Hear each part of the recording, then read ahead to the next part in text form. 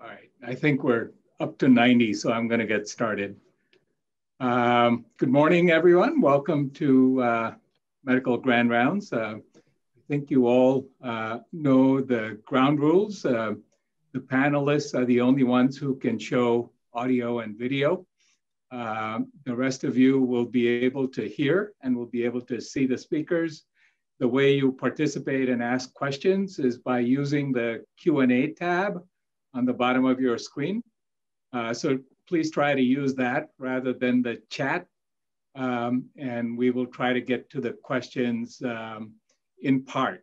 Um, so the agenda for this morning, um, quickly go over the uh, November Grand Round schedule. Uh, remind you that MKSAP reviews are still ongoing just before Grand Rounds. So these have also gone Zoom. And if you want to attend these, these are 7.30 a.m. on Thursdays. So we're gonna start today with a brief uh, COVID update. We haven't done that in a while. Epidemiology update by Dr. Lesho. Um, wanted to remind people about the open notes thing that's happening uh, next week. And there are several informational sessions about that. Uh, the first three of these are already done. 27th, 28th, and 29th of October. But you still have three sessions next week, November 3rd, 4th, and 5th. Uh, they are Zoom conferences and uh, sort of informational about uh, what the note sharing means and some tips about how to how to approach that uh, when you know that patients are going to see your notes uh, almost as soon as they're signed. Uh, so very quickly, uh, the grand round schedule for next month. Uh, November 5th, we have our On Being a Physician uh, session. This was something that we did for the first time in, um, in 2017. And Dr. Wall, Gary Wall, was uh, one of the participants. Um, and then last year, we decided that we would make this an annual thing. Um, and so as a tribute to Dr. Wall, uh, we have this session on being a physician. And so this year's session will be on November 5th. Uh, November 12th, uh, we have our GI uh, case conference being presented by Dr. Patrick Okola. Uh, November 19th, we have a real CPC plan. Um, and this will be done by Dr. Walid uh. Uh, and then the 26th, of course, is uh, is grant is Thanksgiving, so we only have uh, uh three medical grand rounds presentations next month. Now, if there's a, uh, a, COVID emergency and and we need to have an additional uh, COVID presentation, then I will come on here one of these sessions and and use it to to present what we need to. So with that, I'm going to stop sharing and uh, remind you that if you um, want CME uh, credit for these, um, please fill out the evaluations and send them to Lisa. That's the only way you get uh, uh credit for these. Um, also remind you that the sessions are being taped. Um, so a YouTube video of the grand rounds will be available uh, by this evening. Dr. Lesho, we're now up to 127 participants and you should be uh, presenting your screen. Here I go. Good morning, everybody. Can everybody uh, see that screen? Okay. All right. I want to thank uh, Dr. Phatak and uh, Lisa Phillipson for uh, allowing us to have a, a, little bit of time here. Uh, I also want to extend the thanks to the Infection Control and Infection Prevention Department because this is a very helpful venue for us to get important messages out. So thank you. So on the top there, we you can see we covered previously. Uh, as a teaser on the bottom, future topics, we're going to try to tackle this conundrum of reinfection where patients retest uh, after testing negative. Uh, we're going to look at lessons learned over the last almost year and um, some other stuff. But today in pink, uh, honor of Breast Cancer Awareness Month, we're going to be looking at PPE exposures, concerning trends, and um, registry update. Alrighty, uh, let's do the next slide. I have to take a moment out to implore everybody to get the flu vaccine. We're, we're closing in on our goal to have almost 100% or, or thereabouts of our employees vaccinated uh, by, by November, by early November. As of yesterday, we're at 62% of uh, the number of employees you see there. So it's pretty easy to get your flu shot. Don't forget to get it. Uh, I'm not going to um, harangue you guys with infection prevention HAI data, uh, CLABSI CAUTI this time, but I have to take a moment to remind us all about how important it is to wear a mask. We want to create a culture of where, like uh, a mask and eye protection has become almost part of the uniform. So consider yourself uh, as, a, as an unvolunteered draftee. And it was the virus that drafted all of us as uh, soldiers and sailors and uh, just part of the uniform is a mask and uh, eye protection whenever you're whenever you're mask at all times eye protection when you're when you're dealing with patients also visitors have to wear a face mask especially when they leave their rooms and at all times and we're going to see why this is important don't forget about eye protection you can have the goggles or face shields but if you're doing any type of agp on anybody, regardless of uh, COVID status, you should have a face shield to protect your mask a little better. Okay. Uh, a, a, message from Incident Command. Again, PPE saves lives. Uh, leaders, managers are empowered to hold us, uh, their employees accountable if they're seen not uh, complying. And, and we should feel comfortable asking others to follow the PPE policies as well. Why? Okay, so uh, I, I, might be preaching to the choir somewhat, but um, we have, uh, you know, hopefully not an increasing trend of these events, but but we're seeing uh, a little bit more. So, for example, last week there were at least 16 uh, healthcare workers exposed, uh, and a patient tested negative twice uh, during his during their admission process, and so therefore they were admitted to an overflow bed. And you, if you know about the ward layout, the overflow bed is is fairly close to the nursing station, right? So there are those beds where you know six feet or less from from the patient bed sits a row of nurses uh, on the monitors. And that patient had been there for a few days, had uh, had been uh, ambulatory. Uh, depending on who you interviewed, uh, wear a mask most of the time, some of the time. Um, and again, depending on who was interviewed, there was suboptimal use of eye protection by the staff. And so uh, we, we've, we've got uh, great support from the lab in allowing expanded testing to the, the, the staff that had uh, uh exposed, that had been uh, significantly exposed. Um, but, uh, but so the importance of mask wearing is highlighted by that. A little bit worse in one of our other facilities, these were not exposures, let me point out these were positive cases. So as of uh, a day or so ago, uh, there were 61 positive cases at this facility, all right? 50, about 50 residents and 15 staff.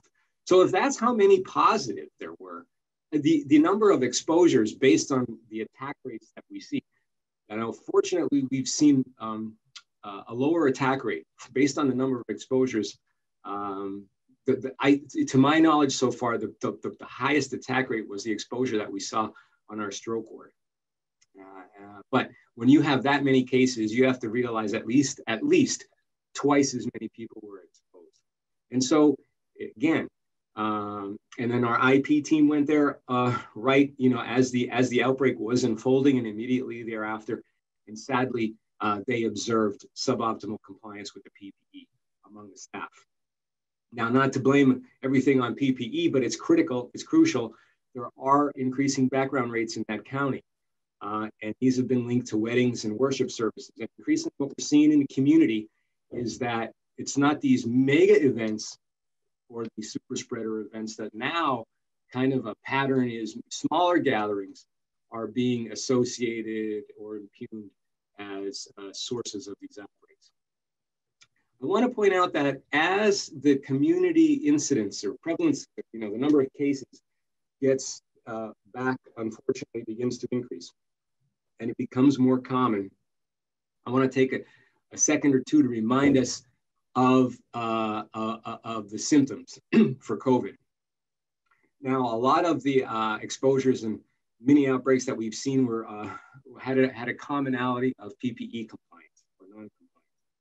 Um, there's not one trend where we, when we do root cause analysis, that we say, ah, this this is a common theme in every exposure in every outbreak.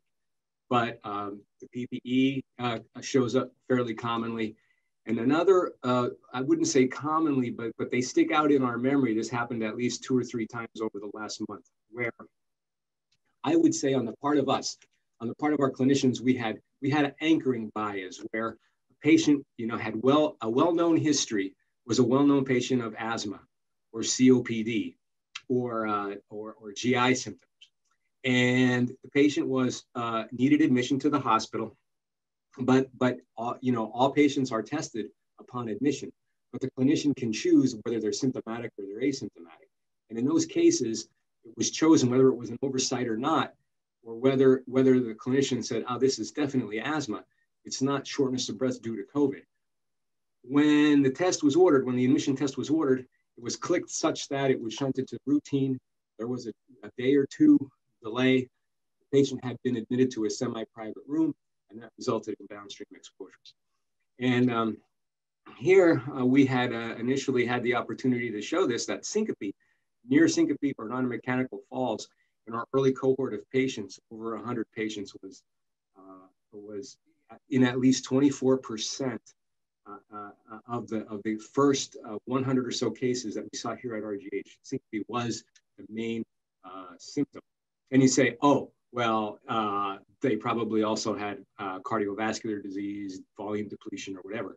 That table down on, on the bottom shows you that no, the patients with COVID whose symptom was syncope were not significantly different based on those uh, cardiac or volume parameters.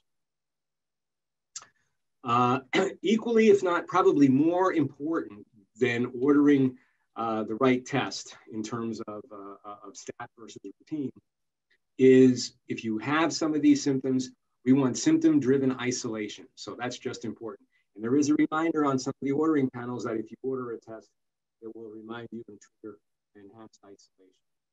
So what's happening around the world? Not good news a lot of these slides I'm going to go over very fast because they're self-explanatory and they graphically depict what I really don't need to say. So over here, we're the world. You see we're going up in the number of new cases. This is the United States over here on that side.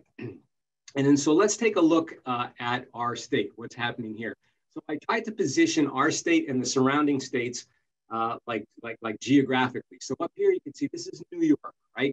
We're doing okay so far. Happily, we're doing okay. In October 26th, we had about 11, 1,200 cases right over here. So we go down south to our neighbor in Pennsylvania. Not good news. Look at this climb. We go out west over to our, our friends in Ohio. So we're surrounding by concerning trends right here. So let's go over to, now I put New York. Where is New York? So now New York is over here on the left side of the screen here. And we go to our east, Connecticut doing really good. But now look at this, October 26th, 25th, look at these spikes. And then similarly, New Jersey on the uptrend. So, you know, no state, no man is an island. We have to worry about it. So you say, what's going on closer to home? Closer to home, New York City exceeded for the last two days its trigger alert of 550 new cases. Okay, right yet, not taking any drastic action yet, but that's the trend. Today, the report from the health department shows 61 new cases uh, in Monroe County. The seven day rolling daily average is the daily number of cases based on the seven day average is 61, just so happens to be. And the percent positivity, the daily positivity rate is 1.6. Last week, recently, it was above 2% for the first time since the early summer. It was 2.3%. The seven day average was 1.7%. We look at a nine county Finger Lakes health region, and in that area, the seven day positivity was 1%. A little even closer to home, if you were at Char Steakhouse in the Strathallan on or about 17 October, you are asked to call the health department. There was a, a there was a, stat, a worker there who tested positive, and there was uh, exposures. If you were at the bar uh, or standing in that area, recently, yesterday and today, the county health department recommended that children two or more, two or more, strongly recommended to wear masks. This is a breakdown by age uh, of the of the hospitalizations, the cases per 100,000, and the case fatality rate right there. And that's self-explanatory. And I'm going to send these slides out to Lisa, and you'll all get a copy of them. So I'm not going to belabor it. What I look at this slide for is who, what age group is the most concerning. And so here you see that the 18 to 29 year old age group and the 50 to 64 year old, that's a yellow here and the light blue here, they comprise the greatest uh, proportion of new cases. So keep an eye on those, you know, it's particularly critical to watch those. I'm, I'm kind of worried about, about those age groups. You want a little more granularity as the pandemic unfolds. The, the county health department has now the ability to break it down, uh, stratify it by age adjusted rates, by race, gender, ethnicity, and sex. And I'm not going to go through all this. I present it for your reference right here. You can, you can go. I know I've been asked about how, how different uh, racial or ethnic groups uh, compare to each other. You can see, see that here. Age adjusted rates per 100,000, again, broken down by, by race on this slide self-explanatory uh, for you can see there. And I'll just leave it up there for a second before we go on to the next one. So that's what's happening. Can we look into the future? What is the crystal ball telling us? So uh, Donna Newhart and her, and her team and Kalyana Kanaparthi do uh, the modeling and, and the next few slides are, are compliments uh, of there.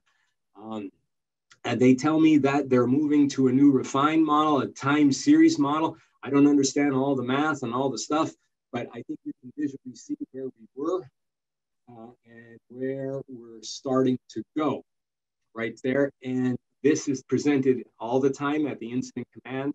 And the incident command and the, and the system has, has triggers, has surge triggers based on various parameters. And this is a projection here of what we might be able to expect based on the number of new cases in Monroe County, that's blue, and the RRH census, and that's yellow. And you see that it's a little bit hard to predict, uh, but that's what these, these dotted lines here, these are the 95% confidence intervals. So they're wide because, uh, you know, it's still a little bit of uncertainty. But there's a little bit of good news in there. So early on in the pandemic, we saw that uh, you know, for all the number of new cases, about, you know, 20% of those, around 20% required admission. What we're seeing early on right now in this, if you want to call it a second wave or a third wave or whatever, a reprise, uh, a little bit lower rates for hospitalization and ICU utilization. So right now it's about 10% of people are positives that are, that are requiring admission and lower rates requiring ventilators and ICU admission. Finally, we're going to talk about the registry. This was begun by uh, uh, very talented residents, medical residents. Uh, Hannah Chen now with Portalis and, and, and Mina, also supported by Incident Command and Quality Safety. And if you see, saw the recent editorials in the New England Journal of Medicine, tragic data gap or dying in a leadership vacuum that provided a lot of motivation uh, for this project. And what we what we sought to create was an adaptive living registry with every patient in the system uh, and, and, a granular uh, one at that, 75 more parameters, epidemiological lab imaging. We didn't know what we were doing initially. We didn't know about the, the, the thing called, we knew about REDCap, but we didn't realize that if you're at RGH or uh, in the system at RRH, you, you can get access to REDCap. It, it doesn't cost anything. And so uh, we started out in Excel, then we were moving it to REDCap. and we're also utilizing the case report form that's standardized with the CDC from the National Center for uh, Infectious and Respiratory Here's where it is. We're trying to keep it, we call it a living adaptive registry, but right now it's on life support. And that's why I'm, I'm reaching out uh, for it's labor intensive. So far, there have been 3,300 patients, uh, uh, you know, uh, captured by, by lab testing. We've only been able to get about 15% fully entered in, into, the, into the registry. It's labor intense. If you break it down, it requires two full FTEs all the time. We need automation, we need machine learning, uh, and we're, we're looking at, uh, we have a, a list of lessons learned. So if you're interested in helping out, we'll get you on that protocol. It's an easy exemption protocol. The benefit to, to, to you guys would be, and, and some are already leveraging it. If you help build it, you'll be very familiar with it. It'll be available to you for hypothesis. And so we had the ability, again, the, the, the, statistics team uh, was able to help us out look at the mortality analysis. And this is kind of before remdesivir and mostly before we knew about steroids. This is, remember, only about the first 400 patients. So we got 400 patients probably by the by the end of April. I think April 11th was the cutoff here. You see about these were the things that were associated or not associated with mortality. And so you say, well, why this is all published or this is this is available. I mean, this isn't published, but other teams have published. So what's the significance? What's the benefit of having this registry? Well, it provides modeling input for more accurate, more tailored predictions for surge planning here. It's already been uh, somewhat helpful to, to Donna Newhart and the team uh, looking at those modelings. And what we found was that there are important differences because our populations are not the same as other populations, right? They're a little bit different. Maybe there's something different from uh, China, maybe in New York City or some of these. So, for example, we found that the, the viral load, if you will, or the, or the cycle threshold did not correlate with the severity. The, the, the cycle threshold from your initial diagnostic test. It didn't, it didn't comport with whether or not you were going to need ICU care, whether you died or whatever. That was not the case in New York City I'm not published in infectious disease, New York City experience. Another example, ACEs and ARBs were, are higher, uh, uh, we're high, you know, we have found discordant results. In the interest of time, we found discordant results between ACEs and ARBs based on other researchers. Uh, here's a one, length of stay without remdesivir was already shorter in this, in this cohort than the 15-day main outcome uh, measure that was used in the final NEJM report on remdesivir report. And in, Ch in China, from a paper from Cell Biology, statins were associated with in-house, in-hospital use of statins was associated with improved mortality. That's not what we found. We found that our patients were using statins. Uh, it was if it was part of their outpatient prescriptions, they were associated with a, a need for admission compared to those who were treated and released, and it was more associated with mortality. Finally, you can link it to the genomes. We're increasingly trying to sequence, do whole genome sequencing on the viral genomes. And when you link, when you when you have a group of, uh, of, of, of, clinical and epidemiologic data that you can link to a whole genome, it becomes very powerful for precision epidemiology. A reminder, a reminder of that we're going to be decorating for the seasons, and we found COVID uh, RNA uh, on a lot of different surfaces. More so, think about it when you're putting those decorations up. It's already in the setting of uh, EVS being short-staffed. Uh, and and then just another practical reminder: uh, we, sur- we, we surveyed about 400 surfaces. Uh, for those of you that didn't see that presentation, a, a, common surface that was you that you know that was frequently contaminated were shared surfaces. So be careful. Wash your hands, especially glucometers vital signs machines. So those traveling shared pieces of equipment. Finally, uh, Halloween, Day of the Dead, Thanksgiving coming up. I encourage you to look at this uh, link here from the CDC, offer safe Halloweening tips, etc. Okay, thanks everybody. I hope I didn't go over too far. And I will stop sharing. Uh, oh, In the interest of time, I'm, I'm going to let them go ahead with the case. And Dr. Lesho, if you can answer. There's one or two questions um, on the text. You can just answer them by text. So, okay. Dr. Tirthani, if you want to go ahead with your. So, Dr. Lesho, stop presenting and. Yep, all right. All right, I think everybody can see my presentation, right, Dr. Phatak? Yes. All right, perfect.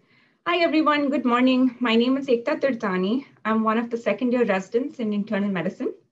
And today, uh, Dr. Q and I are going to be presenting endocrinopathy related to immune checkpoint inhibitors. Now, this is a well-documented um, you know, one of the manifestations and side effects of immune checkpoint inhibitors. But, you know, for my love of endocrinology and oncology, I wanted to combine a topic that would be relevant to both. I just wanted to say a special thank you to Dr. Chavez for sharing one of his cases uh, and Dr. Fanan Numan, who's been very kind and uh, is going to be a panelist today. All right, so we'll start with the first case. Um, I have a 56 year old man. Let me try and get this one. 56 year old man with a history of malignant melanoma who comes to the ED in Feb 2020 with the following complaints in six days. Dry mouth, excessive thirst, excessive urination, fatigue, and vomiting. So the patient denied any fever, chills, dysuria, cough, abdominal pain, shortness of breath, diarrhea, runny nose, or sore throat. So no particular infectious trigger for these symptoms. The patient denied any history of diabetes. However, his father was diabetic. His medications include Eliquis, emtricitabine tenofovir for HIV prophylaxis, ramipril metoprolol for hypertension. Interestingly, he had a family history of melanoma in his brother and his mom but he denied any alcohol use, recreational drug use, or tobacco use. Now let's move on to the most interesting part. So his oncology history. He had BRAF negative stage one cutaneous melanoma of his right flank status post excision in 2012. However, unfortunately, in 2019, he developed right-sided, so upper chest wall mass most consistent with in-transit metastasis. He had complete excision of the soft tissue chest wall mass and it was consistent with malignant melanoma and right axillary lymph node dissection was done. The patient was started on nivolumab adjuvant therapy uh, with the first dose given at the end of January. So let's recap here. The patient comes in late February and his first dose of nivolumab was in January 2020. So physical exam wise, um, it was pretty unremarkable except for the tachycardia and the dry mucous membranes. On labs, as we see here, pretty stark. And you know, if you can see the blood glucose, he came in with three, 860 blood glucose, um, pseudo hyponatremia, 124 sodium, um, and bicarbonate was less than 10 and anion gap non-calculable triglycerides 606, total cholesterol 222, pH of 7.01, largely contributed by an elevated beta hydroxybutyrate level. And um, interestingly, his HbA1c, which is technically a marker of the past three months, but uh, he, he had it elevated at 7.9. So which means probably the disease process had begun immediately after um, administration of the nivolumab. So our impression was new type 1 diabetes, which presented with DKA and hypertriglyceridemia due to a single dose of nivolumab used a month prior for malignant melanoma. The DKA was appropriately treated with insulin drip, followed by the subcutaneous DKA protocol once the gap closed. And the patient was discharged on 45 units of Lantus, along with a low dose sliding scale insulin, which was obviously a new medication for him.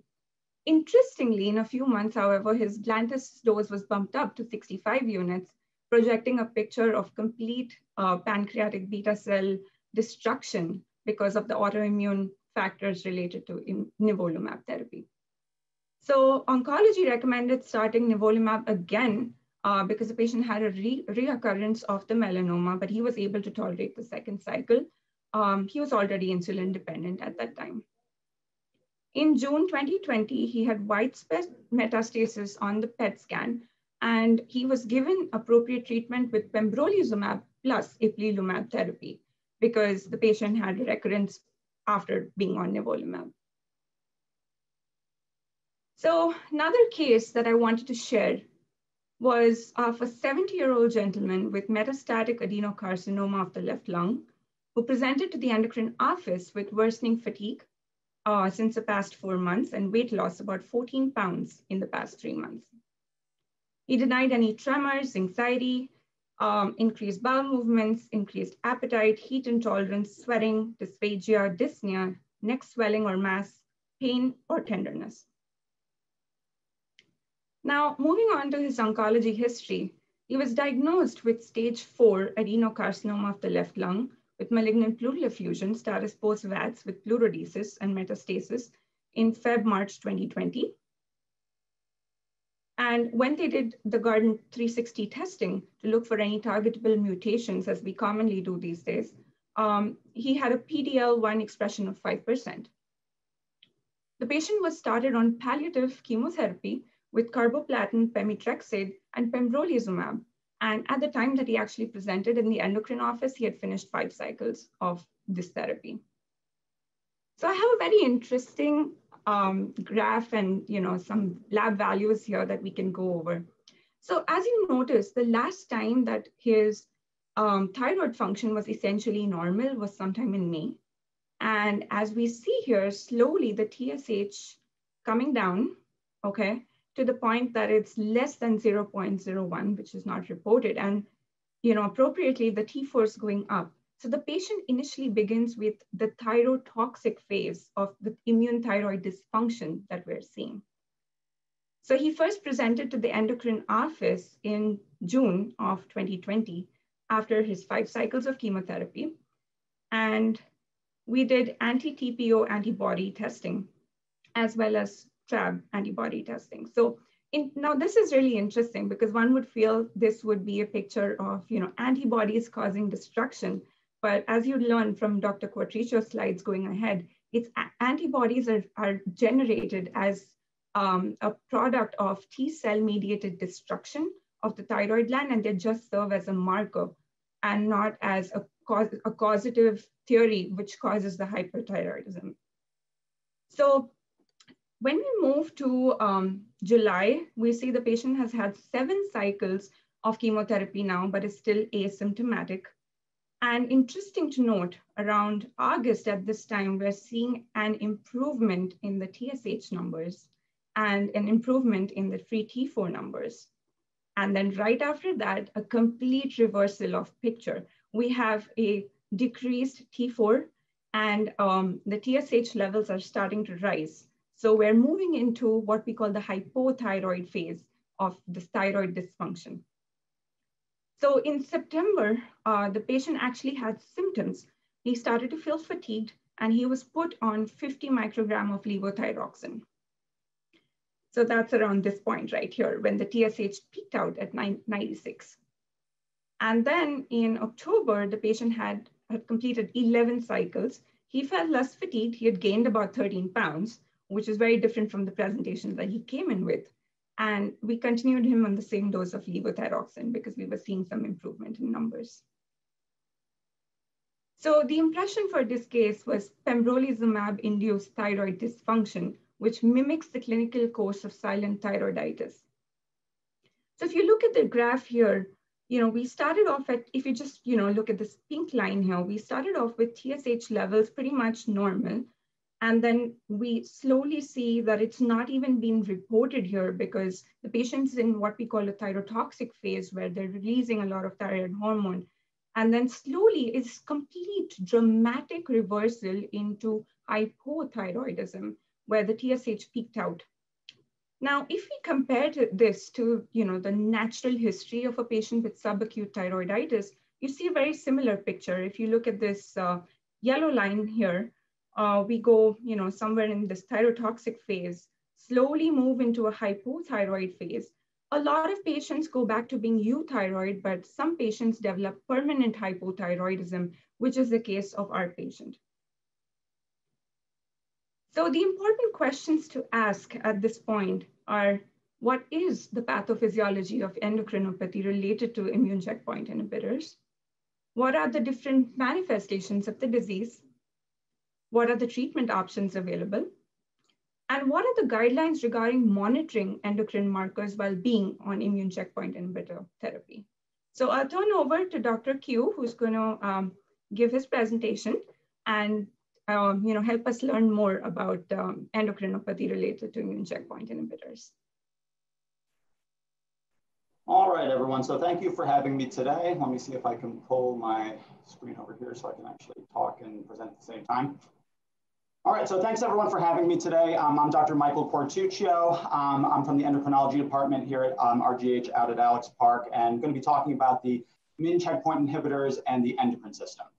Um, so objectives today, we're going to understand the basics of how immune checkpoint inhibitors work. Um, we're going to talk about the endocrinopathies commonly associated with their use, um, understanding how to screen and diagnose these endocrinopathies, and the basic treatment surrounding these endocrinopathies related to ICIs.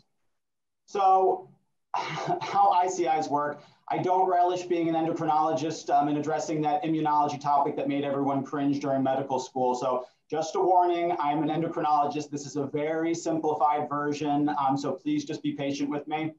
Um, but in, in review, um, T cell activation um, and, and function is controlled through a really tight balance of stimulatory and inhibitory signals. Um, obviously, the critical step is presentation of antigens to these T cell receptors. But it's not just as simple as showing that antigen and the T cell is activated. There's really important co-stimulatory signals and cytokines that are needed for activation or inhibition. And there's that fine balance between activating and attacking the response um, versus um, um, having a, um, a suppression of the immune system so you don't attack self. So inhibitory uh, signals are needed to prevent that chronic activation and to prevent autoimmune diseases. So when we look at a, a, fairly simplified schematic, you can see on the left, we have the antigen presenting cell. On the right, we have our T cell. Um, and the important um, co-activator. So you have your, your MCH, which is presenting antigen to the T cell receptor.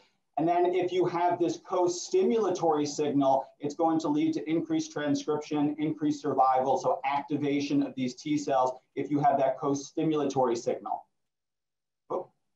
And of course, that uh, had an error there. So of course, the animations never work the way you want them to, but um, same slide is going to show if you have a suppressor signal, so CTLA4 or PD1 that's um, that's connected instead of the activating signal, you actually um, have suppression of the T cell. And we're going to get into those a little bit more. So again, if you're activating CD28, it's going to lead to stimulation. If you're activating CTLA4 or PD1, it's going to cause suppression of the T cell activation.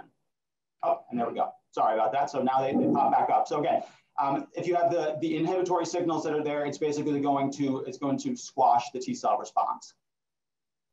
So what's the difference between the CTLA4 and the PD1? Um, CTLA4 um, really, um, it, it, it's going to inhibit IL, uh, IL-2 release. It's going to suppress C, uh, T cell activation. So it's going to prevent priming of naive T cells, okay? So most of this is happening in the lymphoid compartment. These are gonna be the compartments draining that tumor. So they're presenting antigens from the tumor and if you have the CTLA4, it's going to prevent activation of those T cells. Versus PD1, that's the inhibitory factor that's really more associated with T cell exhaustion and programmed T cell death. This is suppression of already um, differentiated effectors. Those T cells are out there. This is basically calming them down versus CTLA4, which is causing activation of naive T cells. The PD-1 really has most of its effect in the tumor microenvironment. So not in the lymphoid tissue, but actually where the tumor um, is having its effect in the body. Um, PD-1, so again, the suppressing factor is upregulated in states of chronic, um, uh, chronic inflammation and prolonged antigen exposure. So it's a natural response for the body, body to try to downregulate the T cell response when you have this chronic inflammation.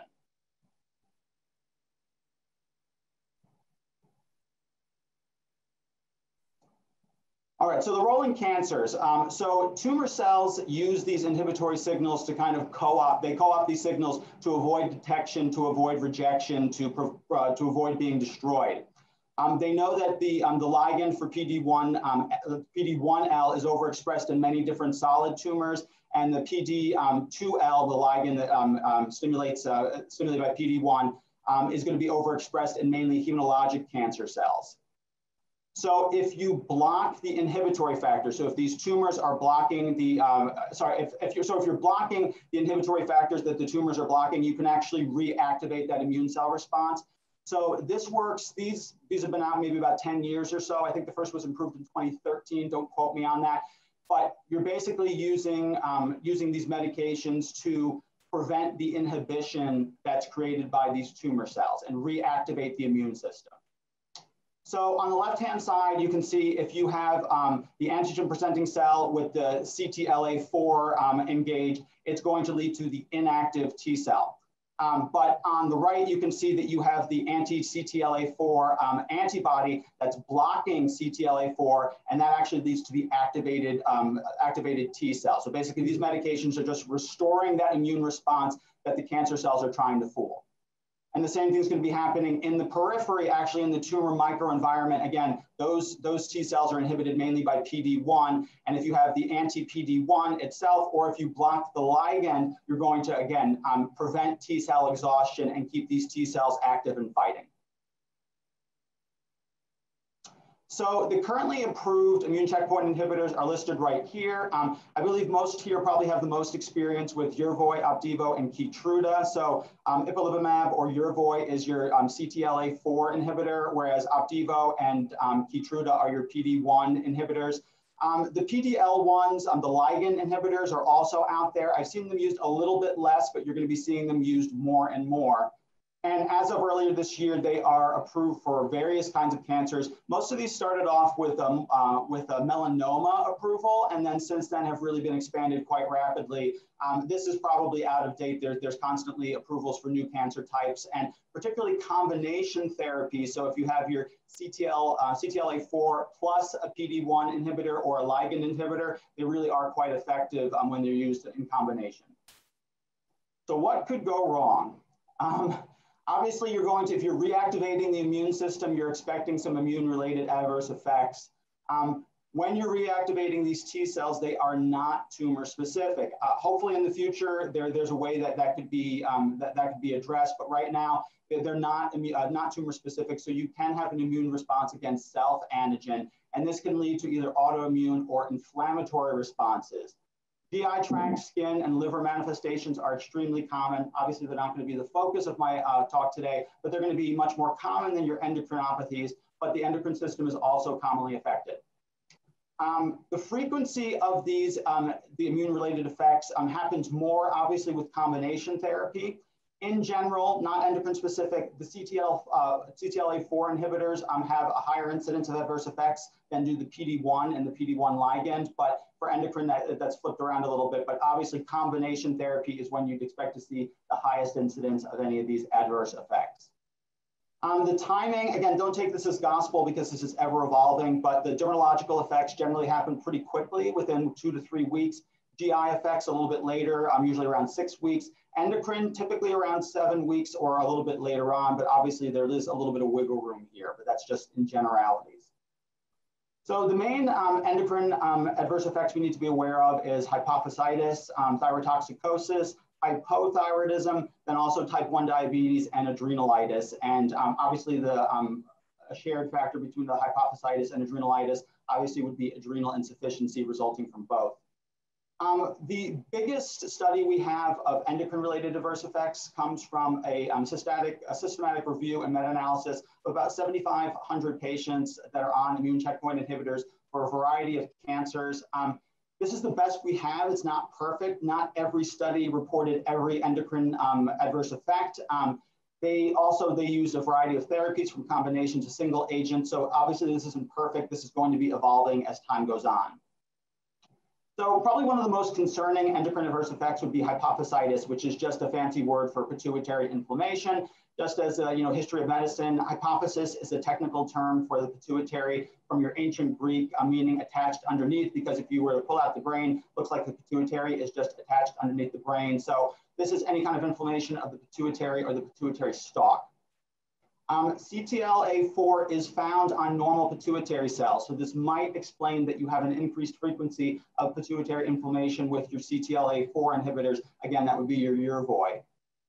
So the presentation that we look for, and, and most of this is going to stem from um, adrenal insufficiency or um, hypothyroidism. So headache is going to be one. Obviously, if you're having inflammation inside the brain, you're going to get headache. But then fatigue, nausea, weakness, again, we're looking at uh, adrenal insufficiency and hypothyroidism as the main triggers of these.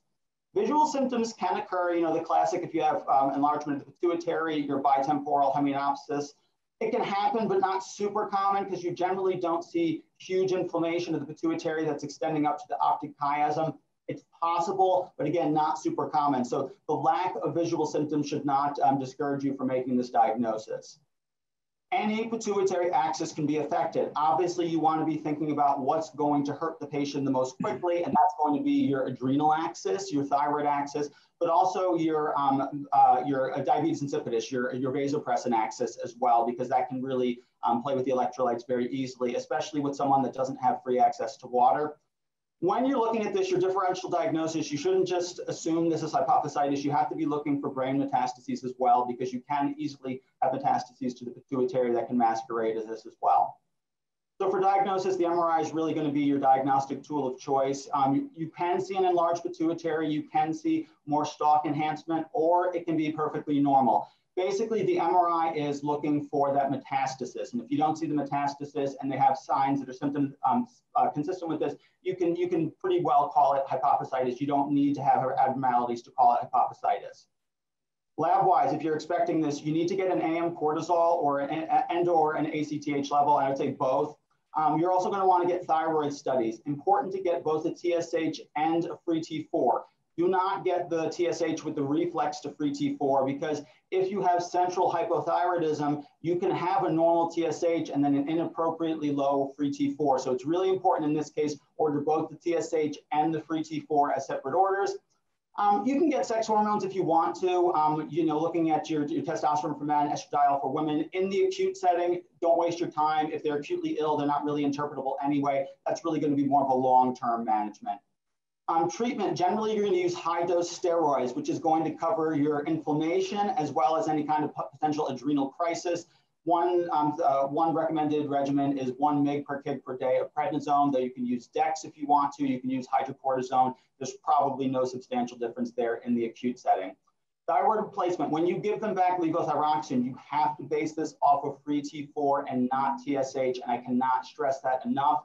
A lot of times in these cases, after I make the initial diagnosis, sometimes I'll urge people don't even check the TSH because it's really easy to make a mistake and treat this as any other kind of hypothyroidism. But again, you obviously would treat central hypothyroidism a little bit differently. If they have diabetes insipidus, you can use desmopressin. Generally, if, as long as someone's thirst mechanism is attacked, uh, is intact and they have access to free water, they'll maintain their hydration. But with these patients, it's difficult. They might have impaired cognition. They might not be able to maintain their free water intake. So desmopressin, it'll help them symptomatically. They'll be your friend so they can actually sleep at night. Um, but for people who have impaired um, uh, cognition, it's, it's even more important to maintain that electrolyte balance.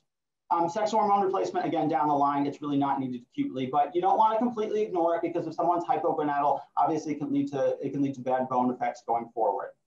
Um, prognosis, you can have recovery of some of these axes, but not always. It's really um, variable and uh, more and more data is going to be needed to see um, how many people actually do recover. So if you look at the incidence of hypophysitis, they have the percent incidence um, is your um, y-axis, and they have your different immune checkpoint inhibitors on your on your x. Um, you can see combination therapy obviously has the highest incidence, up to 8% of people on combination therapy can develop hypophysitis. CTLA4 inhibitors cause it a little bit more, just shy of 4%, and then less commonly in your PD1 and PD1 um, ligand inhibitors. Thyrotoxicosis. So um, I'm sure anyone who's worked with me um, knows my rant about the difference between hyperthyroidism and thyrotoxicosis. And it seems arbitrary, but I want to get rid of the, um, the interpretation that thyrotoxicosis means that you are toxic. It has nothing to do with that. It basically just means excess thyroid hormone from an unknown etiology. Hyperthyroidism means that the excess thyroid hormone is coming from gland overproduction. So Graves' disease is hyperthyroidism a destructive thyroiditis, your gland's not producing any more hormone, hormone it's just releasing preformed hormone. Technically, um, that, that gland destruction is thyrotoxicosis, not hyperthyroidism. Trivial, you might say, but it is an important difference. So the thyrotoxicosis can result from just a silent thyroiditis. So you have transient inflammation of the gland, you release preformed thyroid hormone, or it can be from Graves' disease. It's probably more common that the silent thyroiditis is happening more so than Graves, but Graves' disease is possible. If these folks are presenting with proptosis, be aware of that. And you really want to be thinking about Graves' disease as a possible explanation. It's really unclear if pre-existing um, thyroid antibodies increase the risk of this. Some studies show that they do, some studies uh, show that they don't, so we're really not sure. So diagnosis, I definitely would want to check TSH, free T4, and total T3. Sometimes you'll have an isolated elevation of total T3 and not free T4. So it really is important to check all three. Um, a TSI, thyroid stimulating immunoglobulin, will help you diagnose Graves' disease. So I usually do recommend checking that. The nuclear medicine um, uptake and scan may be helpful, but you have to be really careful. If someone recently got a contrast load, you're going to get a falsely low iodine uptake because that, that contrast is going to uh, is going to compete with what you're giving with the radioiodine. So these are cancer patients. A lot of them really have had a high contrast load. So the nuclear medicine uptake and scan oftentimes is a little bit less useful. But if they haven't had recent iodine, you can try. But the TSI is pretty durable. You can check that. Um, treatment, if it's silent thyroiditis and they don't look like they have Graves' disease, it's really just supportive care. You're giving them beta blockers. If it's really severe, you can use glucocorticoids, but a lot of times if you just beta block them with non-selective beta blockers, they do fine. If it's Graves, obviously you wanna use the supportive care, but then they're gonna need something else. If they are very, very sick, sometimes we will send them to surgery. Um, radioactive iodine will take at least months to have full effect, so be aware if they're really sick in the short term, radioactive iodine is going to take some time. Oftentimes we'll use methimazole. In the, like if it's a thyroid storm situation, obviously we would use, you could use steroids and various other things, but if they're, if they're not as sick, methimazole is often what we'll jump to until things calm down.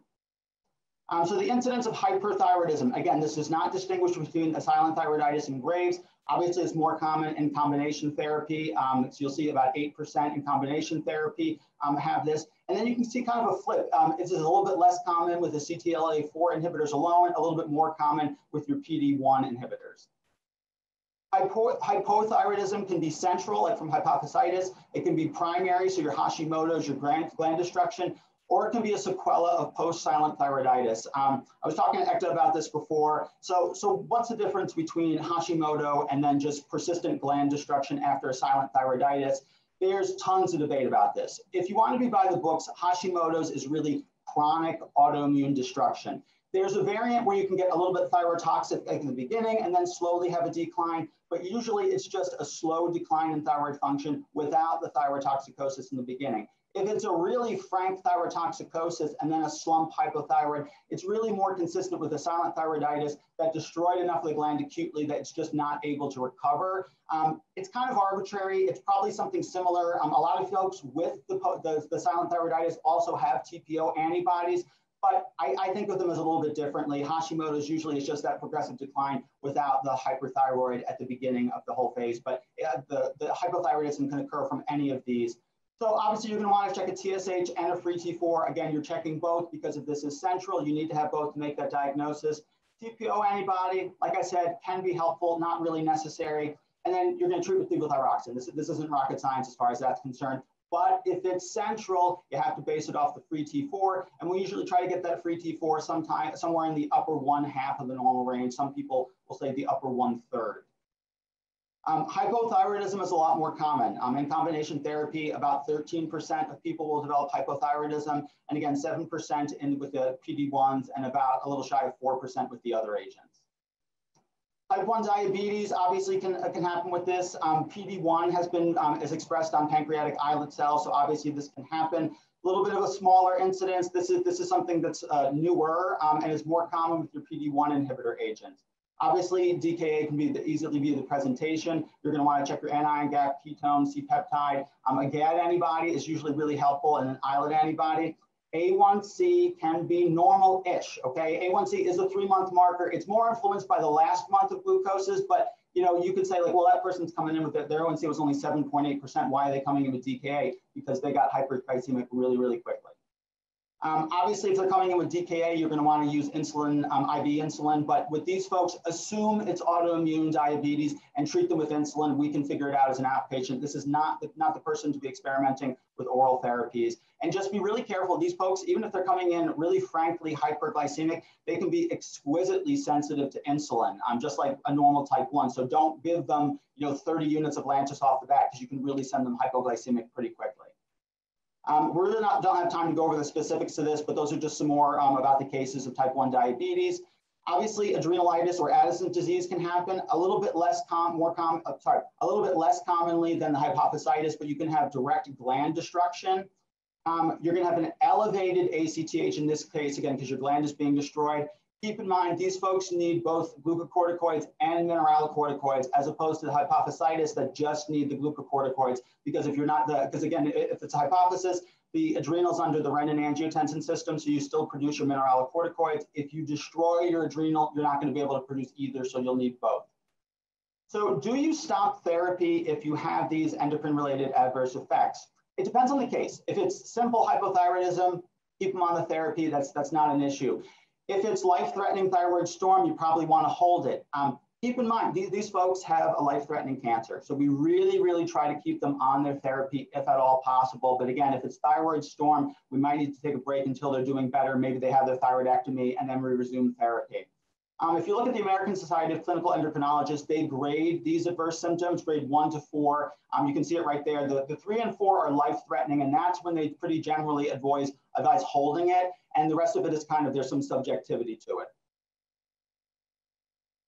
So um, as far as guidelines for screening for these, um, they um, the same organization recommends checking your TSH and free T4 every four to six weeks when on therapy, or if you're having new symptoms. If you're thyroid toxic, you should be checking them more frequently every two to three weeks to catch that transition to hypothyroidism.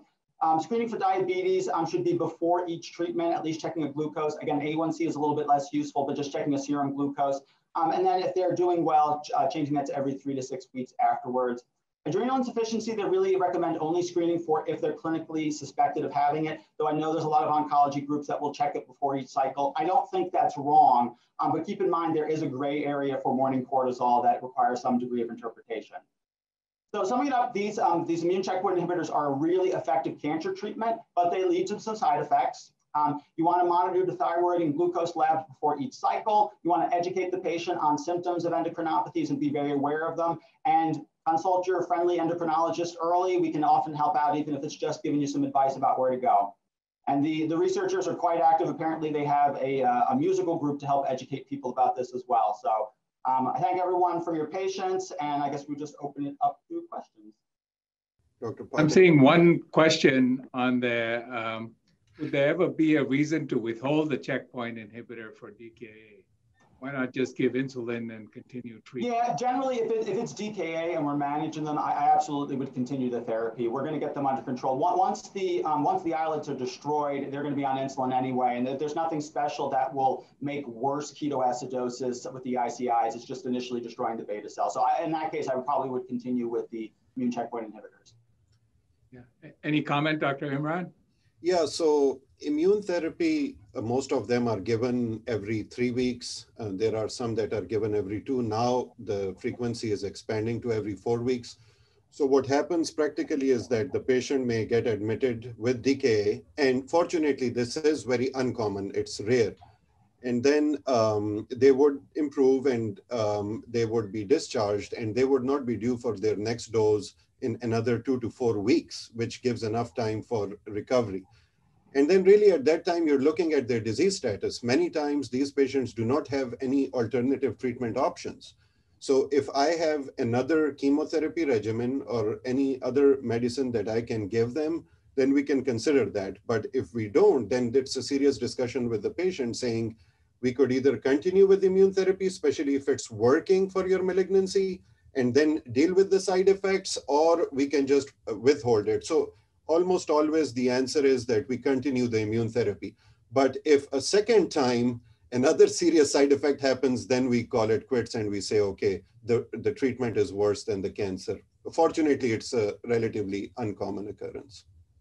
So Dr. Lesho, there's one last uh, question for you on there. Uh, the 1.8 to 2.3% change, the change in the positivity rate, uh, is that broadly distributed or Monroe County, and is it because the schools and the St. John Fisher?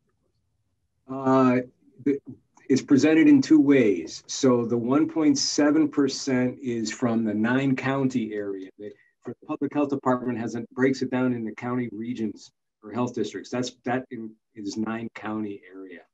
But there's also a Monroe County area, and the positivity rate in there is being driven to some extent by colleges uh, not, not naming any, uh, but, but that's being seen across the country. Uh, some colleges are testing, they're trying to test their students before they send them home for the holidays. Uh, they're using various, uh, various approved and unapproved assays like saliva testing, and um, we're looking more into that.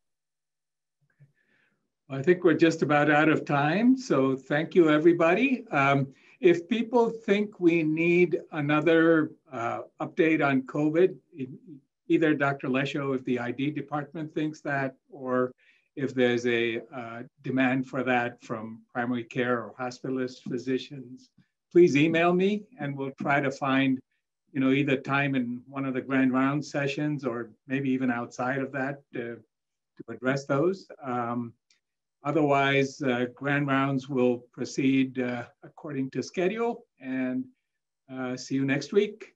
Take care.